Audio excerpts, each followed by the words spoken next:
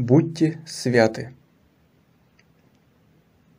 Часто можно услышать от людей, верующих в кавычках, что мы грешные, архигрешные, что человек не может жить без греха, времена святых давно прошли.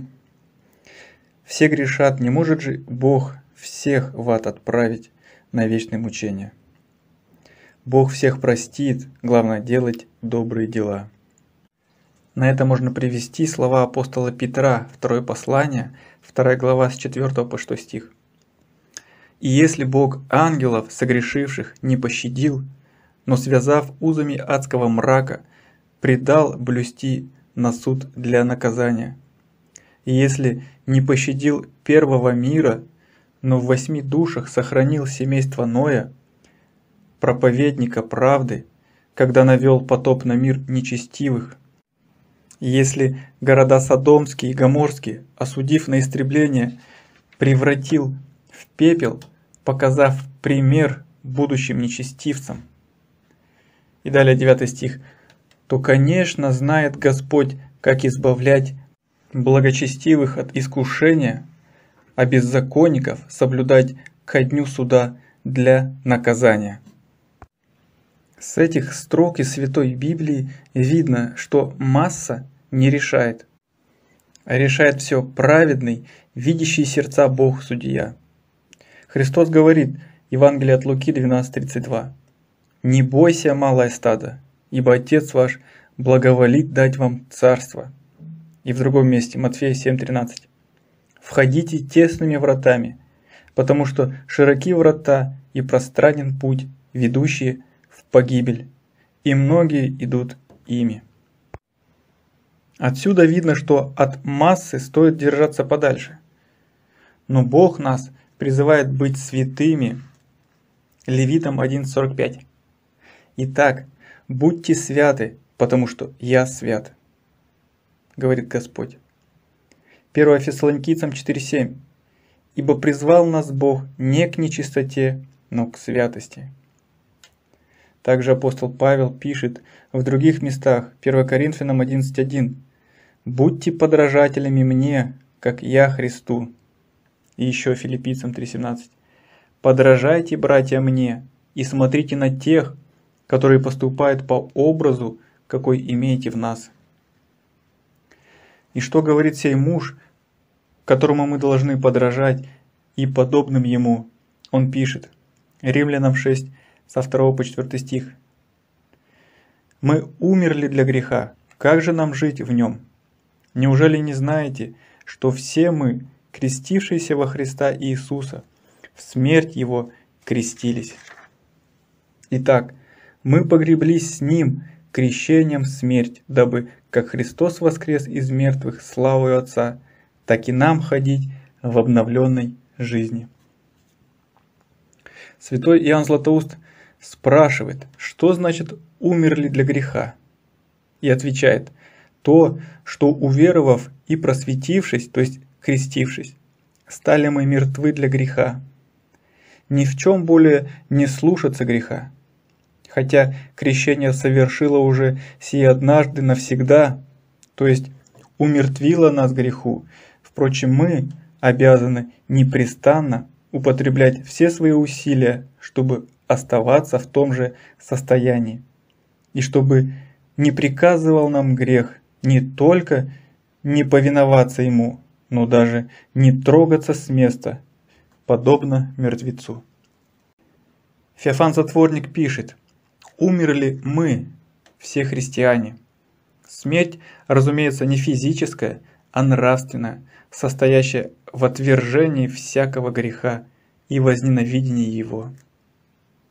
Ибо как приступают к Господу, каясь и крестясь, как указал апостол Петр в день Пятидесятницы вопрошавшим. «Что нам делать?» – спрашивали Петра. А он отвечал «Покайтесь, и докрестится каждый из вас».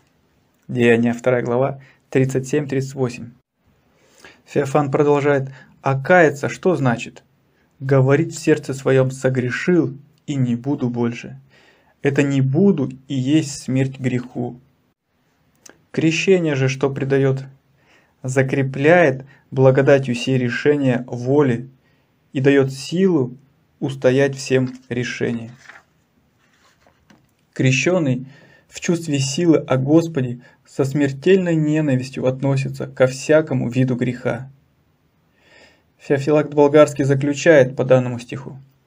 Отсюда узнаем, что через крещение всякий действительно умирает для греха, но по нерадению своему сам воскрешает себя и тот час оживает для него.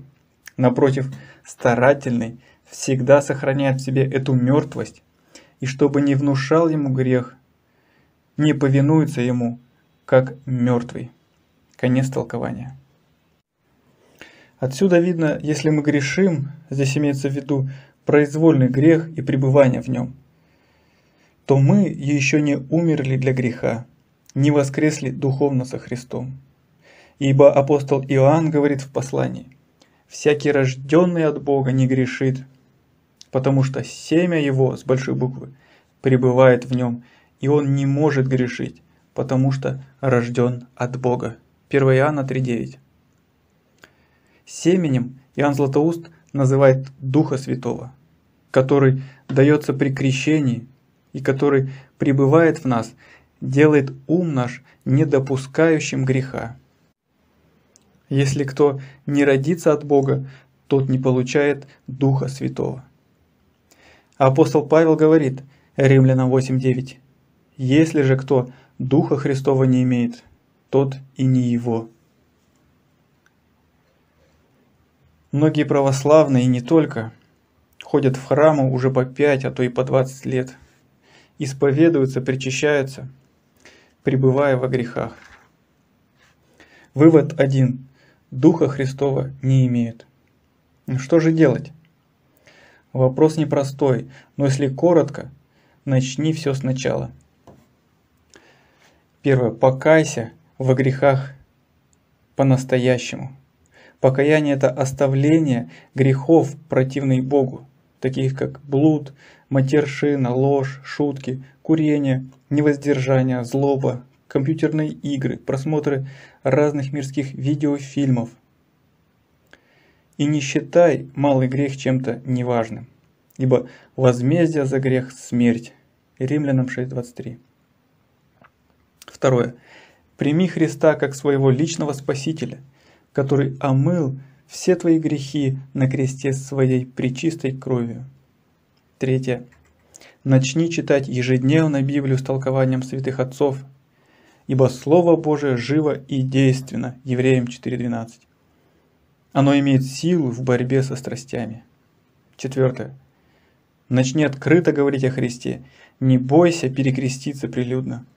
Ибо Христос сказал, «Кто исповедует меня пред людьми, того исповедую и я пред Отцем моим небесным. Матфея 10, 32. И, конечно же, в молитве обращаться ко Христу о духовном возрождении. Да поможет нам в этом Отец, Сын и Святой Дух. Аминь. Более подробно скину материалы о духовном рождении в описании.